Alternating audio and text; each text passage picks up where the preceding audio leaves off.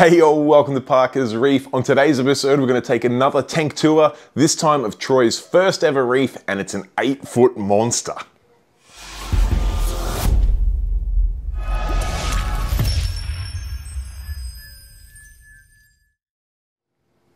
All right, thank you for joining me on another episode of Parker's Reefs. And as touched on in the intro, today we're going to go see a local to me. Troy does live in the Geelong region and he has had a custom reef tank running now for a bit over a year. And um, I had the pleasure of meeting him about six months ago when he was going through a few troubles with his tank and a couple of challenges like we all do.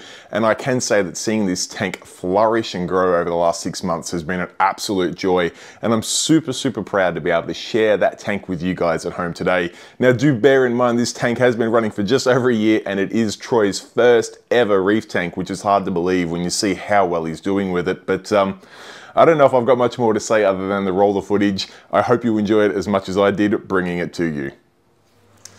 All right, I am here at Troy's place checking out this incredible custom tank. Your first tank, I believe. Is this Correct. your first reef tank? Correct. Amazing. All right. Well, you, I mean, you've got to tell us the story. First of all, what's the dimensions on this beast? Um, it's 2.4 um, by about 550 to 600. I can't remember the exact amount.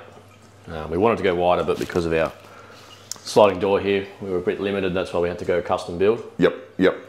And what led you to? Well, actually, before we get to that, how long has the tank been running for at this point? Um, about 14, 15 months. Okay, so we just passed the year mark. It's yep. really starting to fill out quite nicely. Now, what? Yep we touched on just there in the intro, this is your first reef tank. Correct, yeah.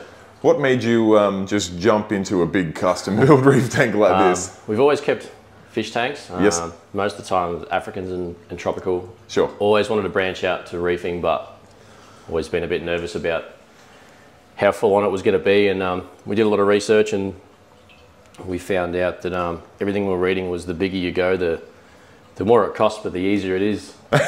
in the yeah. terms of like if something can go wrong, it takes a lot longer to, to take over your tank, and you've got yeah. plenty of time to react to things. And um, we just went screw it and fit the biggest tank we could fit in in the end. And, and we ended up here, which is fantastic. And yeah. for a first reef tank, man, that's looking pretty sweet indeed.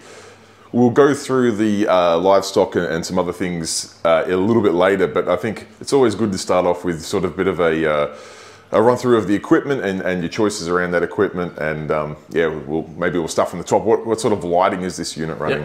Um, so we're running, uh, we started with Kessils. Yes. And we quickly realized that they probably weren't quite enough. Okay. So we ran a, an AI blade, which has been in for about four months now. Yeah, nice. And noticing like tenfold the, the difference in the coral growth and the amount of algae we're having to clean off the glass. it's always a good sign yeah. for algae yeah. on the glass means there's plenty of light energy in the tank. And yeah, that's it. Whilst algae is not always uh, aesthetically desirable, it does mean there's plenty of life. And obviously, yeah. if algae's growing, coral's growing. So that's that's a good sign. And I do love the, the ease of mounting the, the blades yeah, there. We, Just... we try to make it easy. We actually had it off that back post originally. Yes. But the cornice was getting in the way of the brackets. Yep. And yep. they were sort of bending down and stuff. So we actually moved it off the front bracket not long ago and it's much better. Yes. It's holding, but I have to move the light out if I ever want to do work in the tank. I've got to lift it up because I just yeah, can't okay. get my arms in anymore. yeah, that is um, one of the uh, challenges of having lots of lights yeah. over the tank, the, I the guess. Thin, the thin tank makes it difficult for lighting positioning is what yeah. Yep, yep, for sure. We don't have much of an option. It's sort of just got to be there. Does the trick, and I like um, yeah the way you've got the Kessils nice evenly spaced there, and then the bar just fills in the gap between yeah. them. Yeah. And this hood, I mean, these, these, even these uh, hinges up here look familiar. You've got yeah, a, they look familiar. hinge. Yeah. we don't quite have the uh, the electric power heads what you have in yours, but it still lifts still lives. No, it makes life nice and easy to access yeah. in there, and it, it, tucks all that away and all the light and heat and noise and everything when you uh, yeah. don't want that yeah. in your because uh, we're, we're literally standing in your kitchen right now. So yeah. kitchen dining room, so you can close it up and exactly keep things right. aesthetic. Originally, when we got the tank built by Billy at, at Starfire, we had it with just like a little um, oh, hood around the top. Yeah. Yep. yep. And the Kessils were um, mounted on these, and that's where they've obviously come from. Yes. So you could see all the lighting, and then um, I think we had that for about six months, then I decided now we've got to fill it all in because the yeah. lights were just. It does pretty, get a bit blinding. Pretty blinding, yeah, as you can see right now.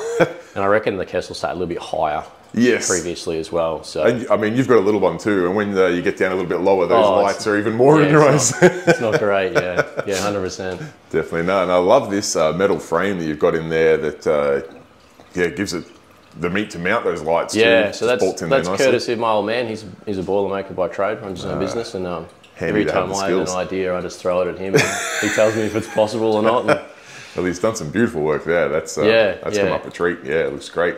Fantastic. Well, that's the lighting, which um, yeah, I'm super impressed with. Looks great. Moving down into the tank, uh, flow in the tank. I can see a couple of gyres in there. Yeah, a couple of gyros. So they were the ones that came. Um, Billy had that all in his package. Yes. Um, so they're really good. Fine, have to clean them probably more often than I am. Um, Yes. I had them had them up to like ninety percent a couple of weeks ago, and um, decided they probably needed their first clean.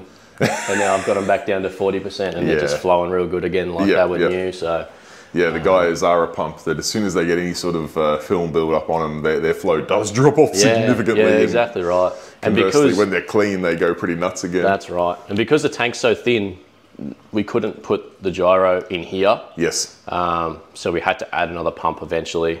Um, I can't exactly remember which one it is, but Yep, um, yep. we had to go a thin a thin magnet on the back, so we were pretty limited to what we could actually Fit get. down the back there, yeah, Yeah. yep, yep. No, that works out well. and And I Gives you a think nice ev- bit of flow. eventually we'll upgrade the the gyros probably, but um, for now they're doing the job. They look to be working a treat. I mean, you can see things Yeah. like this leather here, just real nice, gentle flow across it there, just enough to keep those polyps moving and, and Yeah. doing everything they should do. So, no, they're working well. And as you say, when they're clean, they're only on, you know, what was it, 40% Yeah, or I think they're running at 40, and I think I've got this one at 20 or 30. yeah, so you but I can't. If I go anymore, he's going to blow the, the SPS off there. a little too much flow. Yeah. No, that, that's working well. And I did notice when you had the hood up there, you've got uh, the return coming up over this end, just so, so that the flow sort of goes from one end to the other. That was how Billy designed it all, which um, he said was sort of something that he not many people do. Yep. He does them in his tanks. Yep. It looks a bit ugly, but it seems to do a really good job, and it does exactly what it's designed to do. So Yeah, no, it's functional that way. It ensures, like, obviously that's your overflow end there, so Yeah, that's what's going into the sump. Yeah. Your, uh, for lack of better words, your filtered your, your water from the sump is coming up at the other end of the tank, so it's it's got to pass all the way through. It makes sense to um, just eliminate any sort of dead spots I get. So no, that's that's good. And I guess flowing uh, or following on from that, that then leads down into the equipment underneath. Mm-hmm. What, what are we running down there? um, it was very basic when we started. We tried to keep things really, really simple. and then um, every time we've had an issue, we've just kept adding stuff, basically. so Uh, the old reef keeper's Lego, hey? Yeah. Originally, this was um, just filter media down the side, and we Yes. took that bit of glass out and put the roller in because um, with the we just kept adding fish basically, and um, I was changing that that Dacron top filter Yeah, every okay. two days, and it was just Yeah. doing my head in. So Yeah, yeah. We forked out for the ClariSea, um, which for the most part really like, but at the moment it just keeps giving me alarms. I think I just okay. haven't straightened the, the roll properly, but Right, right. I'm just dealing. It still works. It just screams at me every now and again. It just wants attention. yeah, exactly right. Well, at least it looks like the mat's very dirty there. Like it's doing its job. Yeah, yeah. It's pulling- definitely it's pulling- definitely working. definitely, yeah. Um, the phosphate reactor um, wasn't something that came with the sort of deal we had with Billy. Yep. But we've added that because we just we were overfeeding a lot early days. we were feeding our reef tank like we were feeding our African cichlids. And yeah, okay. Um, you know, it's. it's- yeah, Great for the fish, Our phosphates were going for the roof. The fish were getting big, uh, but yeah, the phosphates were. Fish and the algae down. were getting big. Corals Yeah, not so much, exactly but uh, right. that's obviously helped rectify that phosphate issue. Yeah. And you just that's just a two little fishies phosphate Yeah, reactor yep. with um, some uh, phosphate media Yep. in there. Yep, and a couple of heaters that are in there. Everything's a little bit jammed in that first in that first section. That's Um, just the heaters efficient use of barely the space. the heaters barely ever run. Like Yep, yep. this fish tank basically heats the whole house. To be Yeah, honest, so yeah. I find the same thing with my system. The heaters are there really only if we leave the windows open overnight. yeah, exactly right. Like I think the tank was at 26 yesterday, um, and it wasn't even that hot. Yeah. Then overnight it dropped two degrees. Yep. Um, but when when we uh, when the weather outside's like 26, 27, I've got to have the aircon running inside. yeah, yeah. Um, we just don't have room for a cooler, so we just run run the ducted system, and yep. it seems to keep it around that 25 mark on a hot day. So Absolutely. happy with that. That does the trick. Yeah. Works well. And then we just go into the big skimmer, which is probably a bit overkill for our tank. Um, Love a big skimmer. And um, when we were dealing with Billy, he just said, um, "I'll build the sump and put it in the cabinet, and then whatever size skimmer we can fit in there, we'll fit the biggest one, basically." and I was like, "Yeah, that's fine." Yep. Not knowing anything about it, to be honest. um, but yeah, that that skimmer's been grouse. It's a. Is that an octo? I think so. Yes. Yep. Yep. Yep. Yeah, it's a big unit. Needs an empty at the moment, but Oh, you can see the quality of uh, skimmate it's pulling out. Yeah, it's definitely nice, doing a really good fine job. white bubble in there. Just, fact, you can barely see the bubbles in there. It's that fine. Yeah. It's just, it's just white. yeah, Working yeah. a treat. And we're pumping air from from outside into Yeah, nice. well. Yep, so nice the fresh air coming feed. through the wall. Yeah. Lovely. Um, and then we go into refugium, which was which was originally the, the heating station. Yes. Still a work in progress. We did have it running for about six months, and the detritus just took over. Yeah. Okay. I think we worked out that it wasn't enough flow. So Yep. we're, I've actually I've ordered a power head not long ago, and we just got that uh, macro algae off yourself. yep. Yep. Um, so hopefully that power head comes this week, and we can put it in there, get some more flow, and stop that detritus because that whole section was just purple. yeah. Um, yeah. Cleaned that out about a week ago, and it's already coming back. So um, I suppose it's a good problem to have. Um, and I'm finding that I'm having to keep block the light from getting into the um, as the dosing goes off. Um, having to block the light from getting into the skimmer because the algae wasn't growing inside the skimmer, Yeah. Okay. um, yep. Yep. which is not easy to clean. No, yeah, you get light and that nice uh, sort of bubble feed in there, and yeah, the algae just uh, it just thrives in there, so Yeah, exactly right. makes it a challenge. Um, and that's that refugium is just a cheap house light with a Bunnings lamp. Like yeah, yeah, um, no, it'll grow algae just fine. I have no doubts. I, th- I think we want to we want to upgrade the light and get like a proper refugium light, but we'll wait until it actually starts working. I think, and then we'll have a Yeah. look at it maybe. Look, I, I've experienced both, and I, I do run a proper Kessil refugium light now, and look, it, it's great. It's also like a nine hundred dollar light. Yeah, more expensive than these. Yeah, um, and look, it, yeah, it, it does work great. I reckon it probably works ten percent better than the house light. Yeah. and the house light setup's like thirty bucks. Yeah, yeah, exactly right. Yeah. So, yeah, is it better? Yes. Is it, um, you know, like I think we're eyeing off six the hundred blade. times better? I think we're eyeing off the blade refugium. Light, Yeah, okay, yeah, yeah, Hell well, of a lot cheaper, and it doesn't feel so cheaper. bad. Well, that's And one I definitely success- haven't tried. Yeah, Yep. with the success we've had with with that blade up there. Yep. I think it's a no-brainer for us. Yep, If no, we're going to makes sense. upgrade, that's probably what we're going to go. Yeah, good, good. Yep, yep. No, um, I would be curious to see how that works out. That's Yeah. Good choice, I think. And then it just goes into our return section, which is where all our dosing goes in as well. Yep, yep. Um, Recently set up that Hanna monitor, which um, having yeah. issues with still. Oh, no. Um, but it's just I just need to go and get some more um, some more of the uh, Some calibration stuff. yeah, stuff. some calibration stuff. yeah, okay. Oh, Um, I did end up messaging Hanna. Instructions weren't great on yep. the calibration. Um, apparently, you have to put both of the pins into all the calibration things Right, rather okay. than one at a time. And I, Yes. Instructions didn't say that. I, Yeah. I don't think so. so I've gone and used up all the calibration liquid, Oh, thinking, no. oh, maybe this one's just not quite. I'll open the second one and then Yep. the same problem. So All right. Well, hopefully we can get that working then. Cause, yeah, yeah, I'll get into Dave next time. I'm next time I'm heading down to Melbourne. Um, Yep. Yep. We're a fair hike away, so it's a big commitment getting down there. It's like a whole day. So Yeah, big trip up to the city. Yeah, I know what exactly it's like. You're even further out than I am, so yeah, Yeah. as you say, it's a decent yeah, commitment. exactly right. Um, Um, also, see a UV plumbed in line off the return pump there. Yep. So that wasn't an original thing. Yep. Um, we had quite a bad case of uh, flukes and, and white spot. Yep. So um, that literally, I think, about four to five months in, pretty much wiped out like 60%, 70% Oh, of the man. fish we had in there.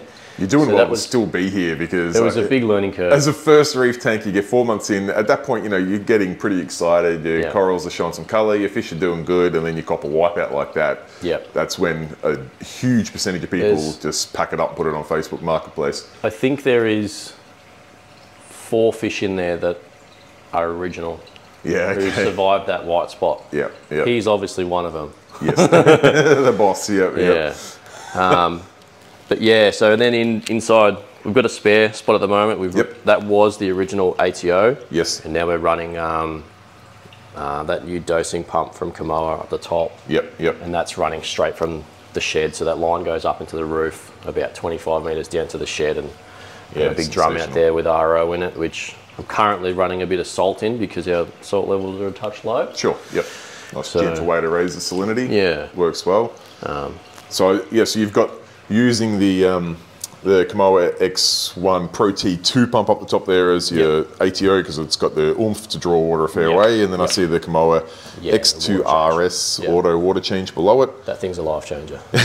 auto water That's, changes um, are one of those things that I reckon that dropped the the monthly or the the maintenance in general by 70%. yeah, nice. Yeah. Um, now all, all we have to do is just swipe the glass pretty much and clean Yeah. out the clean out the skimmer like every two weeks.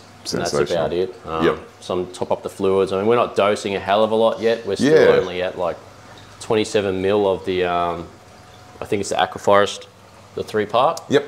Beautiful. Good combo. And then uh, we're adding extra ALK, which Yep. um, we currently have an issue with. We're still trying to get it up there, but I think we've almost at almost at the turning point. Yeah, nice, Um, nice. But yeah, that water change units grouse. We, I move because of our phosphate issues.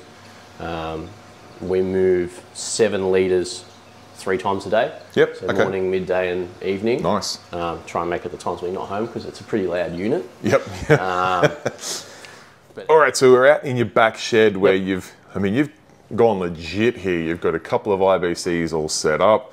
I did see uh, you've got the, the fill point here goes through the through the door, so you Yep. can just clip onto that and fill them up from uh, Bruce, our lovely local water guy. That's right. Yeah. Does the trick well. Yeah.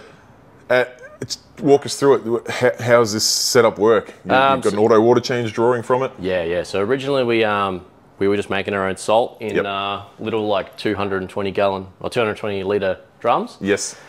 um, and we were just finding we were just, just it RO non-stop. Yeah, Um, yeah. It's a hard work. And then we got put onto um, yeah to Dave, um, uh, Bruce, sorry.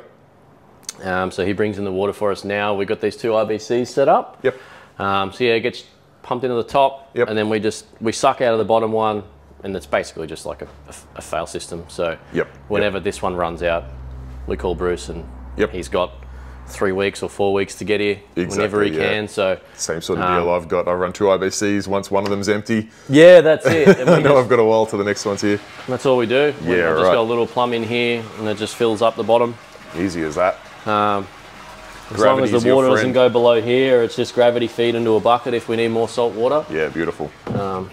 Try to keep it as simple as possible. Works well. Um, we did have an issue earlier. We tried to uh, keep the water swirling in the bottom Okay. bottom tank, um, and what we actually did was the the John Guest fittings and piping that we went down down. I zip tied it to the pump, Yes. the power head. yep. Power head was spinning. Oh, It was spinning just- inside the thing, so our uh, John Guest John fitting Guest just just Oh, no. absolutely tangled the crap out of itself. um, so we learnt pretty quick about that. So now we don't circulate anything. Yep. Um, I just come out here every couple of days and do that for Yeah, a couple of minutes. Um, and that seems to be enough. We're not. I mean, this has been running now for I want to say six, seven months, and I'm not seeing any any growth or any algae or nothing. Nah, they well, still look pristine. So Nice in the shed here. I know it looks really bright on camera, but it's um, well out of natural light here. Yeah. And uh, Bruce's water comes in filtered on the way in. There's very little stuff in it. Yep. You may find one thing I do maybe like once a year. Um, you could hook up a pump to the uh, the bottom one and uh, pump it up to the top one up here. Put like a filter sock in the neck. Yeah. Um, and just let it run for a couple of hours. Just Yep. cycle the water through, and Yeah. any sort of sediment there will get picked up. But Yep. there's very little there, and even if there is, it's it's not doing any harm. It's Yeah, not leaching yeah. any sort of toxic substance or Yeah, anything. It's- exactly there's right. a little bit of natural organic that Yep. might help uh, bring a little bit of nitrates up or something like Yeah, that. Yeah, exactly right. Nothing to stress about. and this system is yeah. You, so you mentioned you got the John Guest, and that Yep. comes up, and oh, The yeah, John you Guest runs all the way down there, all the way through to the front of the shed. And Yep. we've got a um, stainless steel pipe that runs between the shed and the house. Yeah, nice. and then it all runs through the roof and um, comes back down in that cabinet above the above the tank. And buckets no more. Buckets no more. the occasional bucket for um, adding a little bit of salt. yeah, Um, but yeah. Which, as you say, really. you've got that neat little setup there. Yeah. So if you need to get a little manual bucket of salt, it's as easy as turning on a tap and uh, get a bit Yeah. out and Yeah, exactly right. And um, yeah, originally making that salt and what, I think we were getting five or 400 litres per bucket. And the Yeah. was 130 bucks. Yeah, And then Bruce was 130 bucks for a thousand litres. So, exactly. And it's so it's already. delivered, it's mixed, it's right. That's it. You You've got it that upfront cost of the IBCs. Of course. I think they were like 200 and some bucks each. Yep, But they've already well and truly paid for themselves. definitely. Um, and I mean, I've ran Bruce's Water for over 10 years now. We're super, super lucky here in, in the region we're in that one one in Australia that we have access to beautiful salt water, which is Yeah. something we do take for granted, not possible in a lot of other parts of the world where their natural salt water is not great and they really need to go artificial. Yeah. But to add another layer to that again, Bruce here in, in the Geelong region has a, a, fairly uh, top secret process that he does. He doesn't just collect the water and deliver it, Yeah. he collects it and processes it at home for a number of weeks before delivering. And um, it's the best of both worlds. Yep. Um, you get natural salt water with all those natural organics, but you also get the elements adjusted to any parameter you want. Yeah, yeah. Um, and it's consistent every time. And uh, Bruce has been in the industry forever and a day. I won't uh, embarrass the guy with the number of years, but he's, he's a stalwart in the industry down this way. So anyone in this region, I recommend uses Bruce Water. And as you say, it's it's actually a cost-effective alternative yeah, as well. It really is, especially if you got a if you got the room and you have got a big tank. Yep. Um, because I think he's I think it's 130 bucks, um, and that's just delivery. So that's anything from Yeah. 100 liters to 1,000 liters, whatever Yes, you want. exactly, So yeah, The bigger yeah. you can go, the more cost effective it is. Of course, That's, that's why yeah. we went the 1,000 liter Definitely. IBCs. Yep. Um, and then through here, we just have our um, our RO section, basically. Taking advantage of the, the uh, old bathroom in the shed. So bathroom shower facilities in the shed. and it's it's very simple. Um, it just comes out of the old shower slot. There's nothing too fancy going on. Um, we're probably due to change the filters in there. Um, And it just drops in here, and then that's the um, the RO top off, and that runs yeah, up right. through That's the the roof. and, that it feeds and yeah, all the we have all the all of the wastewater goes into the water tank, Yep, great. So rainwater used in the collection tank. So Yeah, beautiful. um, yeah, fairly basic. As you can see, we went through quite a lot of salt um, early days. So a Problem of the past. Nicely done. Yeah, that's it. So, as you can see, we're a bit lazy in keeping things tidy, but no one's out here ever. So, Nah, it's a shed for a reason. yeah, that's it. that's exactly right. Is a good segue onto you talked about your alkalinity um, and, and salinity and that. What sort of parameters are you, are you aiming for, and what sort of Very- parameters have you got in the system at the moment? Very basic. Um, your standard 460 Yep. calcium, um, around that 1300 magnesium-ish, maybe a little bit higher. Yes, Um, pH is at eight at the moment. I'd like it to be a touch higher, but sure. it's everything it seems happy, so I'm not Yeah. too stressed about it. Yeah. Um, Don't go stress in chasing pH. My Yeah. system's like 7.9. yeah, I don't have any issues with growth, so yeah. can't imagine yeah. what it'd be like if the pH was 8.5. Yeah, yeah. Obviously, phosphates trying to keep as low as possible. Um, we battle to keep it under 0.1. yep. Um, so if we're under 0.1, that's grouse. Ah, look, point one's awesome. Yeah, Yeah, yeah, you don't want to strip it too much. I mean, you've got a, a mixed reef. We'll, we'll talk about the coral stuff soon, but um, Yeah. yeah. I mean, things like the leathers and the zoas and the elegants and stuff I can see there are all going to love a little bit of phosphate in the water. yeah, yeah. That's it. Um, as far as alkalinity, um, we've had a bit of a drop recently because we've Okay. added a lot of SPS frags. Probably doubled our SPS over the past like two months. Yeah. And uh, we were running at around at eight mark pretty consistently. Yep. And then we, when we added all those SPS, our ALK just absolutely plummeted. um, and that's why we started dosing extra ALK. Yeah, All the other parameters are no issue with the, the aquaforest um, stuff. Yes. We're now dosing. We started with like 21 mil and we were fine with that. And then it just, they just kept sucking it up. we're now at 50, 58 mil extra of ALK on Yeah, top wow. of the 27, I think, of all the other part three. Um, and we're just starting to see it rise. And it got down to like 6.4, I think, was the Just lowest kept it went down. to. Kept putting more and more ALK in, and it still Yeah. just kept going down. We were down. pumping it up by like 10 mil, 20 mil a day, just Yeah. trying to get it to go, and it just wouldn't budge. And it's finally moving up. So, That's probably a combination of two things. You touched on the SPS frags, but I would also put that down to probably the addition of the new light. Yeah. Um, just filling in a little bit of the, the, the dark spots in between and just giving the whole tank a little bit more power. Yep. We'll just even the existing, even your LPS and stuff will just start to really consume a lot more. So Yeah, yeah. combination of the two, and I mean that's an awesome sign when, when Yeah, your tank yeah, starts sucking up elements. Yeah. you- You're onto a good thing. Yeah. yeah, we're pretty stoked with how it's going, considering it's our first tank, and I mean we're still we're still learning a lot every day about little things. Something goes wrong, and it's just like, well, how did that happen? And you figure out why, and It's a learning try curve. and yeah, just try and get rid of that issue if, it's, if it could happen again. Like it's basically all this added stuff that's come in here. We were trying to keep it simple, and then it's like, well, we don't want that happening again, so we add the UV and just keep adding stuff. It's Yeah. never ending. You think No you've shortage. spent all the money you need to spend, and then No shortage of later- gadgets in this reefing hobby, that's for Yeah. sure. But we should talk about the reason why we do all this, and that's everything inside the glass box. Yep. Um, maybe we'll start with the fish, and then uh, we can have a look at some of the corals and, and go from there. Yep. Um, we've probably got a lot more tangs than what a lot of people would have. Um, we had a little bit of aggression, but it all seemed to have fizzled out. Um, we did have a Scopas tang in there, and he was a little turd basically. Um, and every It's pretty we added, unusual for scopas. They're normally a pretty happy-go-lucky fish. every time we added something, he just went it basically. him and right. between him and the Coral Beauty, Yeah, yeah. he would attack all the tangs, and the Coral Beauty would attack everything else. Um, but a little one-two punch going on. Yeah, so we've had to be a little bit careful about what we added. Um, Yes. we did have, there is a female Watanabe in here. Yes. Um, there she is there. Oh, yep, yep. Um, we did add a male with her, and the Coral Beauty destroyed him.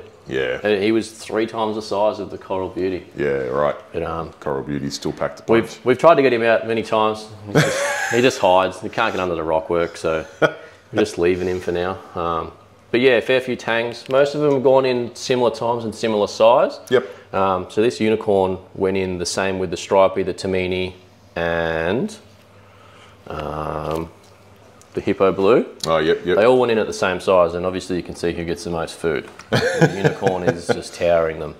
Um, Yeah, he's a beautiful fish though. Sensational Yeah, colours. he's and awesome. Just a real cool presence about him as he just look at him just patrolling his Yeah. tank back and forth there. he thinks he's the boss, but I don't think he is. you don't think he is? Who do you think is the boss? I think the yellow tang's the boss. Yeah, okay, well, you know, in today's No one climate, bothers if, him anymore. if the yellow tang's the boss, there's worse things that could happen. Yeah. So And that's quite a quite a serious fish for a uh, first reef tank. He just one of those fish you had to have. We we got really lucky. Um, there was a local guy.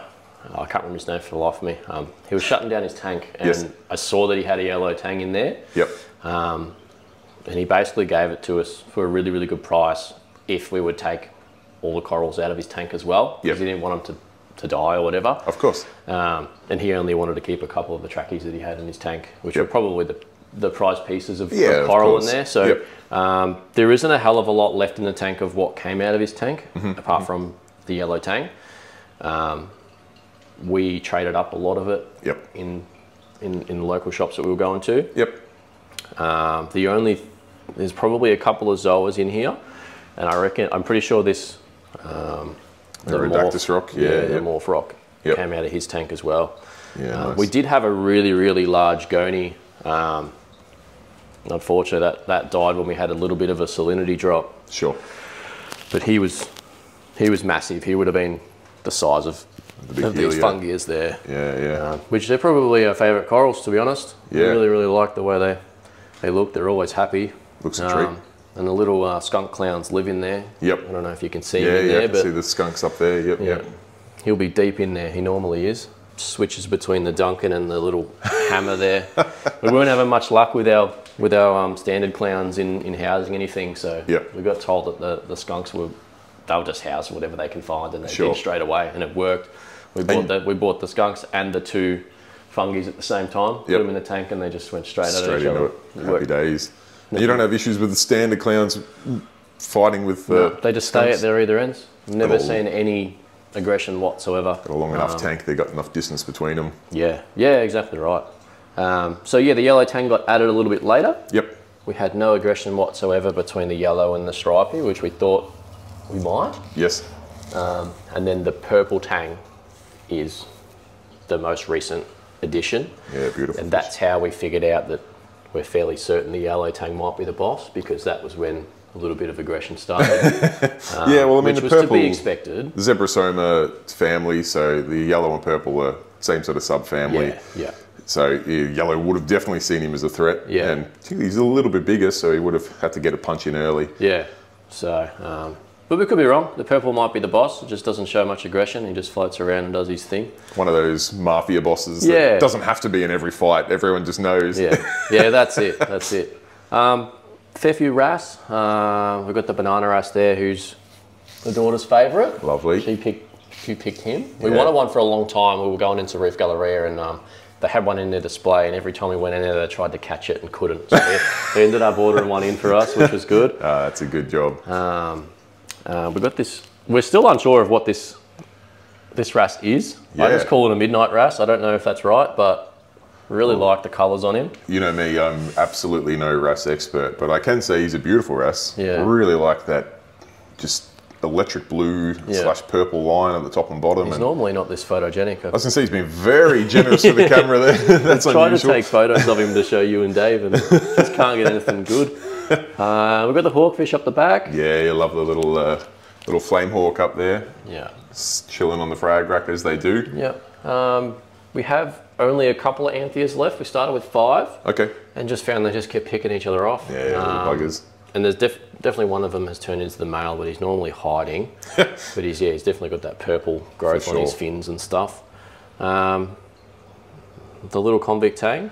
Convict's a beautiful thing. Yeah. He's he's probably one of my favourites. Yeah. We had one early days and lost in our um, In the wipeout. in the wipeout. Yep. Um, so we went another one, and he's been really good. He's probably the most between him and the Tomini. They're probably the most active fish in the tank. They swim around. As you can see, they're eating off the back wall. Yeah. Yep. Um, It's good. You you want fish that have a bit of movement.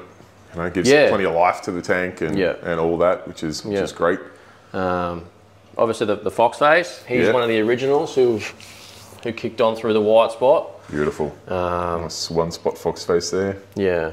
So him, the Tomini, the hippo, and the stripy. Can't remember what they're called. The zebra. Yep. Um, Oh, the yeah yeah. they're the they're the four fish that live through the white spot, so they'll live through anything. I hope.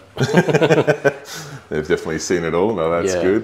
We've got a little school of chromis there too. Yeah, the chromis haven't lost any yet. We added eight, and we still have eight, I Nice. believe. Do you find they fight at all? Haven't seen any. Okay. Haven't noticed anything. Um, Oh, you'll notice if they do. They're, yeah, I've been told that it makes a lot of sound at night. yeah, they Quite can really loud. do this. Um, it sounds a little bit like a Star Wars pod racer. They kind of do this. go, go, go, go, go, go. it's very odd. you don't believe it's coming from those fish, and then Yeah. you actually see it firsthand. You're like, oh, okay, it does. Um, this little guy here, I was just about to ask about him. He's the chocolate goby, I think. popped think. up on cue there just to Um, filter through some sand. Super interesting fish, but I think he causes more mayhem than what he does. like he just drops sand on everything. Yes. Um, you Yeah, see the Zoa rocks just covered in sand. All the corals that are on the ground have got Yeah, yeah. pools of sand. Turbinaria's a little sand pit Yeah. there. and he's just digging holes. The rocks are probably sitting on the bottom of the glass now. He just keeps digging holes. Um, but he's doing his job like he does a really good job at what he's supposed to be doing. So Yeah, your sand is spotless, so you know that's what he was there to do, and Um, Yeah. he's done that well. um, there's two sand sifting um, starfish in there as well. yep. Um, and we do have a, I can't remember what the name of it is, and he's probably hiding always. Um, a little red, little tiny little red starfish. I can't remember what they're called. Oh, is it Um, a biscuit star or? A, Uh, possibly. yeah, yeah, yeah. It's super popular. Um, yeah, they, we- you only see them every now and then. They'll bury themselves in the rock work and Yeah, they're just really good hiders. I remember um, the family coming around and they're like, "Oh, we got to see the red starfish," and for about four weeks, they'd come around every week and nowhere to be seen. and then he'd come out like three hours after they're gone, I have to take a photo. He just knows. He right on knows. cue. Um, as far as fish go, I think that's about it. Um, there is a Melanurus, I think that's how you pronounce it, wrasse in there as well. Yep, yep. Did Um, see him kicking about before. You've got a pretty good mix in there. From I mean, Yeah. you've got a few angels, butterflies, foxface, Yeah. tangs, chromis, anthias. I think we do want to add another wrasse. Yep. and we were eyeing off another tang at some point, but I think we're gonna not do that. I think there's enough in there. Don't want to rock the boat too much. yeah, exactly right. You got a nice harmonious tank there at the moment, so I Yeah. mean, it'd be, yeah, it would be rolling the dice to mix that up again.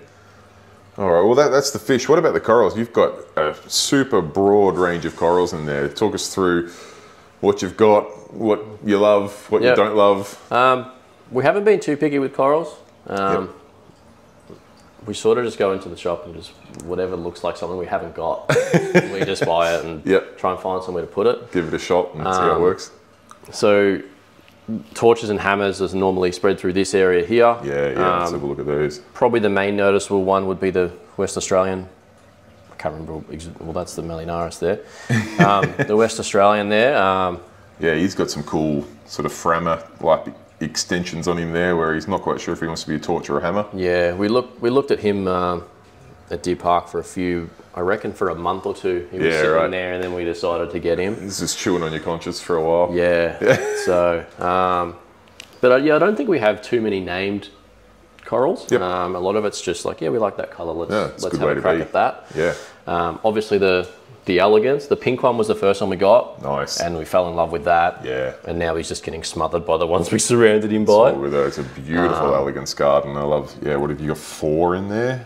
Yes. Yeah. The one at the the one behind the pink one is probably my favorite. Okay. It's got those little pink tips to it. Yep. Um, there's actually if you can if it's if you see it open, it's got a lot of um, texture through the faces of them Yeah, as nice, well, rather nice. than just being like a flat color like the green ones are. Yep. Yep. Um, it's really cool. I must admit, you normally see elegance tucked away on the sand. Um, don't often see them up on the rockwork, and how good do they look up there? It's just like an intense torch garden Yeah. yeah. with ridiculous color on the inside. So, for the for the size that they are and the price they are, oh it's yeah, we're spoiled here in Australia with And- our access to elegance corals. and we've we've had a fair few torches, Yep. and these two, he's the only one who's survived since the start. Yep. Yep. I reckon we've had ten torches over the the 14 months. Yes. and we just don't have any luck with them for Yep. whatever reason. They just Yep. slowly die out. And as you can see, even this one's lost a couple of heads. Yes. Um, that head down there was a, a little gold torch. Yep. Um, Yeah, they're just just a tough for coral. For whatever reason, that one's happy as. Yeah. The gold one there's happy. Yep. Um, but for yeah, sometimes I Just and everyone every, everyone I speak to about it just goes, yeah, that's just torches. That's just torch. Yep. They're supposed to be a, a, an entry level friendly coral. yeah. they No, they're die. not. they are not. They are very, very tricky. Yeah, um, we'll go over that section later because that's Sure. all new. Yep. All that rockwork's new with a lot of a bit more named Sure. and stuff like that. Just, just before you do move on though, Yep. we've got to talk about a couple of these hammers in here Yep. though, because yeah, we looked at the torches, but this Yep. hammer garden's really starting to fill out very, very Yeah, nicely. definitely. Um, Some great. we've got a couple of colours there that are a bit common, but No, at that green is toxic as Yeah. beautiful reverse. couple of different gold shades. I really there. like the colours on on the one next to the A can. Yes, and the one above the two smaller ones. yes, yes. There's something about that turquoisey colour that Yeah, really nice. Um, I don't know if it's the Kessils that bring it out, but Yep, really, that's one thing Kessils do do well. They give great shimmer and great color. Yeah, yeah, that's it. Um, but that green, that green guy, the big one, he was in one of the first corals we added to the tank. Yep, yep. He's a bit closed at the moment. He normally just fills out everything behind Yeah, it. So yeah. Well, we are, first thing in the morning, you know, you put the lights on a little bit Yeah. earlier, but um, Yeah. in reality, the lights have only been on for a while, and the tank's Yeah, already exactly right. this open, which is incredible. and we did originally have them in the toxic and the and the, the I don't know what color that is, the darker green. yep. Um, we had them in the opposite position, Okay. um, and he was just shading them all out. So we put him further back. So because the toxic's the one that you want to see For sure, yeah, more, it deserves so, the prime location, that's for sure. yeah. And I like this leather, just it's a cool position on the edge of the rock there. Just Yeah, we've, we've trimmed him back a few times. he's been growing out. There's another one behind. It's actually, I think it's the same one. We put the offcut of him on a rock and wedged him behind the. Didn't want to get rid of him, so wedged him behind the rock work over there, and he's pretty much touching the glass for about that much. He's just huge now. Probably Crazy. gonna probably gonna have to get rid of him. I think. Um, he's gonna bit of real start coming up behind all the SPS and probably stinging them. I guess. See, So, I can I can see him poking through there. If I look down the side of the tank, yeah, I can see him there. Yeah. As I said, the lights are only just uh, coming on, and he's already filling up that back yeah. section. Yeah, exactly right. Um, and as far as this side, that the green, the big toadstool, he was one of the original ones as well. He's put on so much size, it's not funny, especially in the last few weeks. So I think he might be sucking a lot of the alkalinity out of the uh, out of the water column. To be honest, of all of the pieces in your tank, I, th- I think that big green toadstool is my favourite. Yep.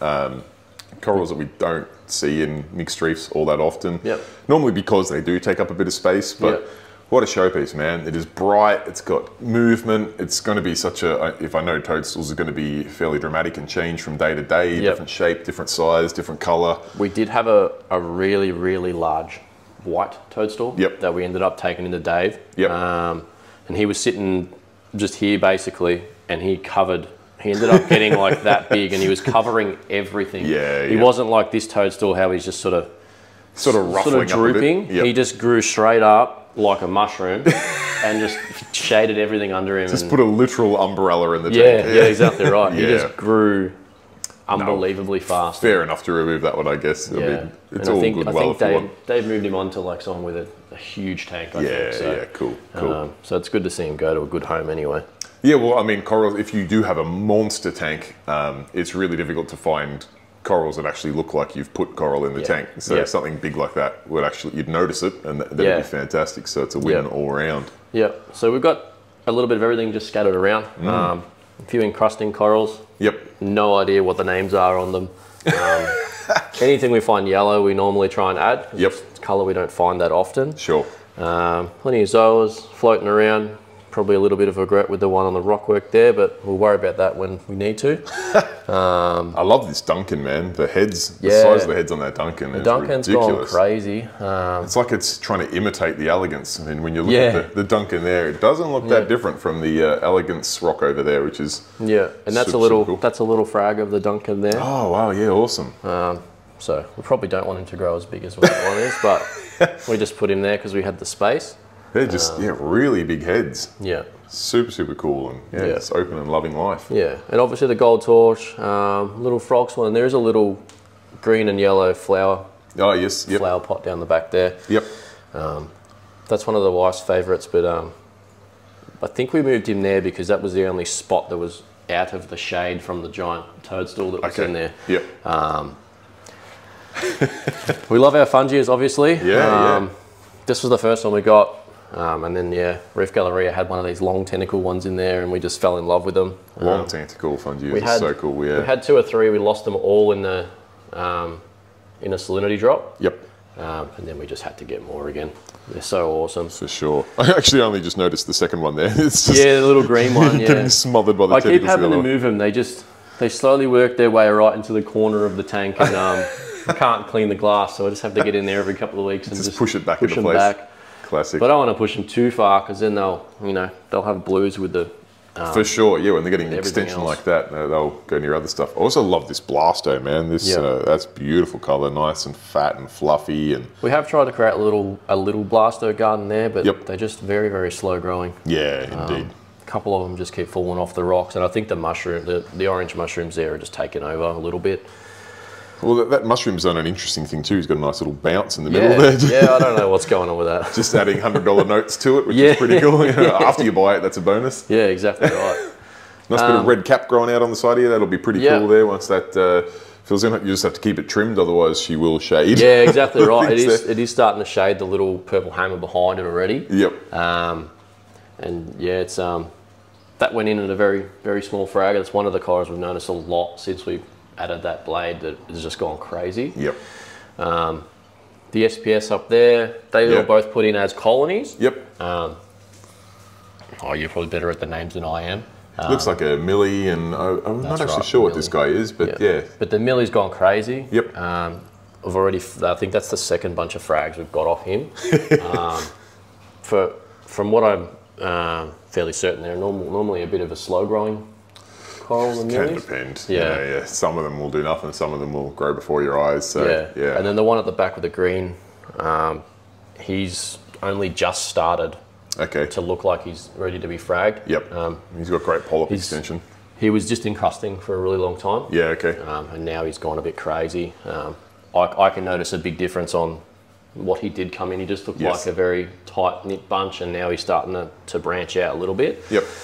Um, and the green SPS there, the really furry one. Yes. Again, you Pokey. probably know the names better than what I do. Yep. Yep. Green Um, pokey. He's put on a lot of size as well recently. Oh yeah, it'll grow Um, quick. And also, don't be surprised if you find bits of green pokey just like growing on your wave maker everywhere. and Yeah. on the silicon on the other side of the tank. And Yep. they are renowned for just That's all right. somehow spawning and appearing in other spots. But Anything the cool thing is, it's super easy to frag then because Yep. you can just literally pop that it bit off. off. and put it on the tile. You don't even have to cut the original Yep. mother. Yeah, exactly right. yeah, yeah, that's always handy, isn't it? Definitely. Um, the little yellow fungia there. Yeah, really yeah, like beautiful. him. He's put on a bit of size as well. Um, Yeah, looks great. yeah, we're, we're pretty scattered across everything. We just we just go to the shop and yeah, we like that color. Let's Yep. find somewhere for that in the tank. Um, we do want to add a clam. Yep. Um, we're waiting to get our alkalinity up and stable before. Sure. we- From what we understand, they're pretty finicky about parameters and stuff more than a lot of things. Can be. Um, Yeah. The sand is something I'd be slightly worried about. Might Yep. need to prop him up a little bit off the sand. Yep. You won't like too much sand in it. But, Okay, um, yep. but yeah, I mean, with the extra light you've got on the tank now, um, yeah, once those parameters are sweet, I think you'd be good to try a clam. yeah. One coral I did want to point out is another one that um, you don't see in roof tanks a lot often is the toxic green pallies. Yep. Man, they're a cool coral. I know pallies get a get a rap, but um, yep. Very aggressive.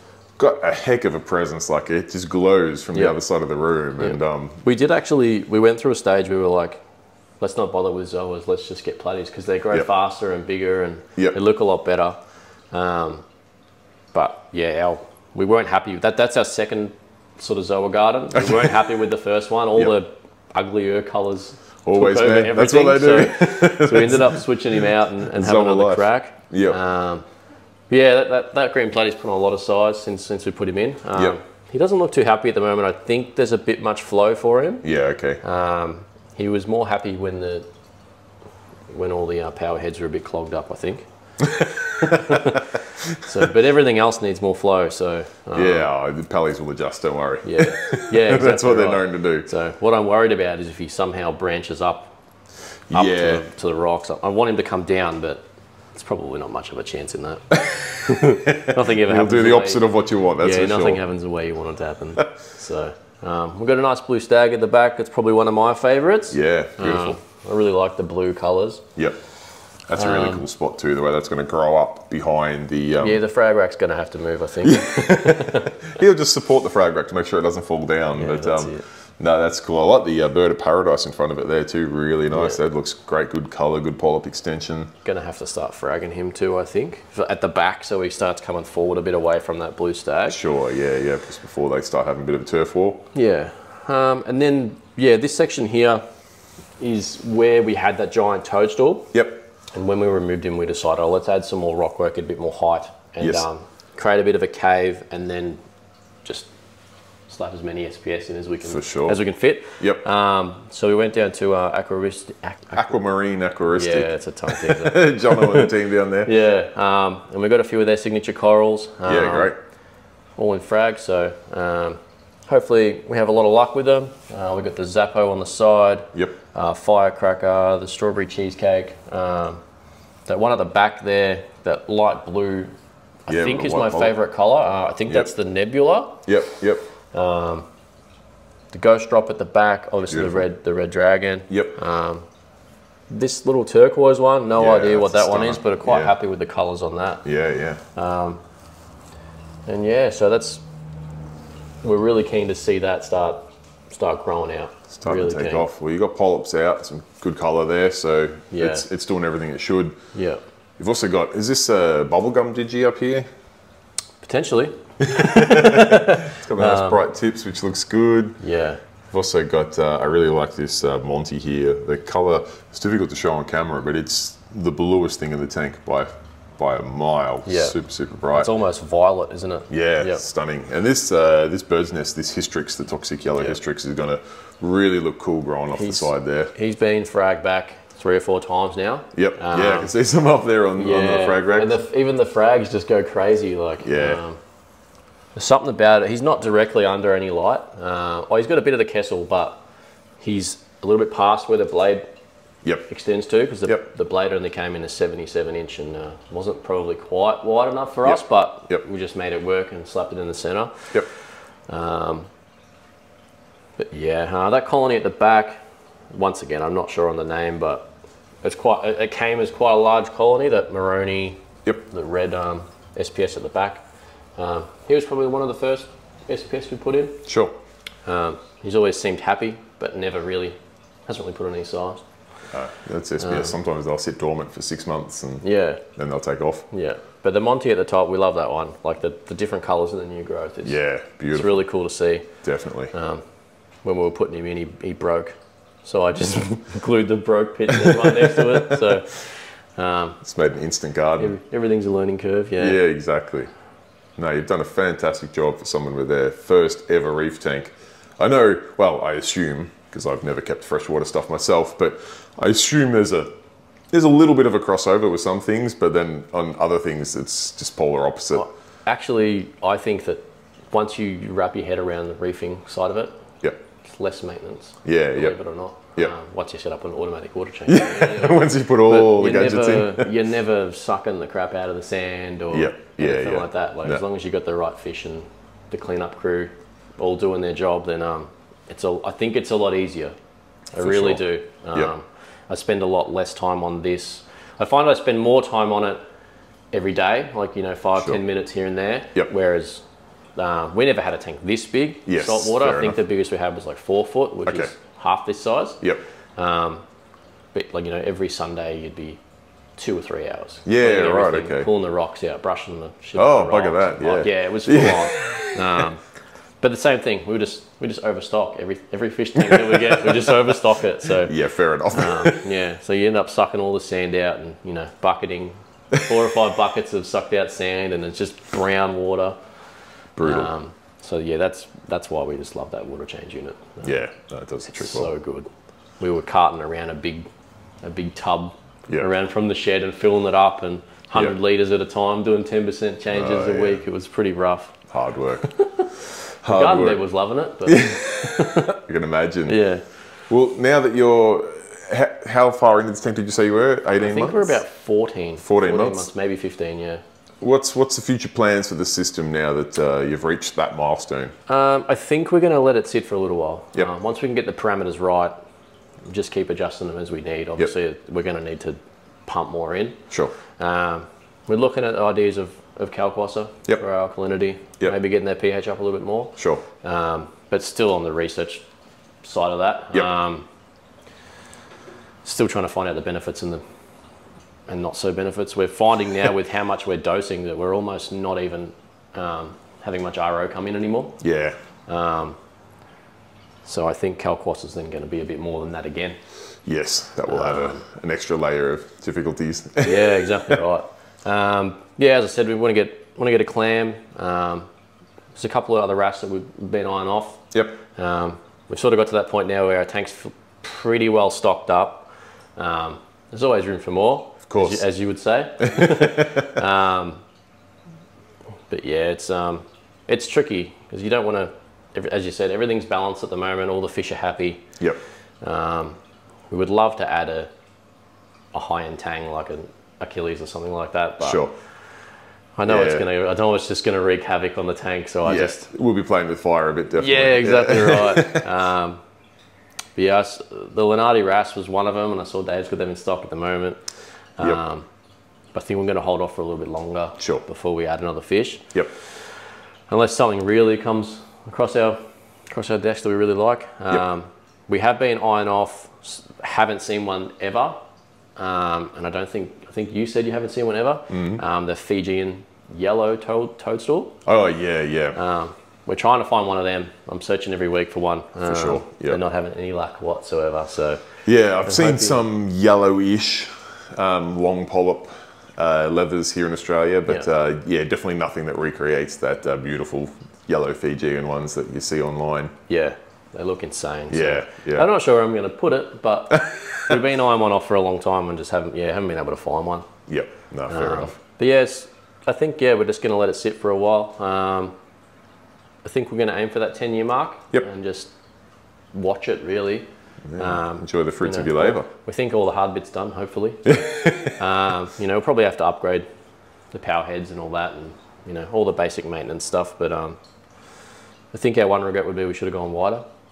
Um, Yeah, thin tank makes it tough. It's it's partially the reason why we leave that back wall natural Yeah, give it a little more depth. and getting down behind the Yes. rock work is nearly impossible. Yeah. Um, yep.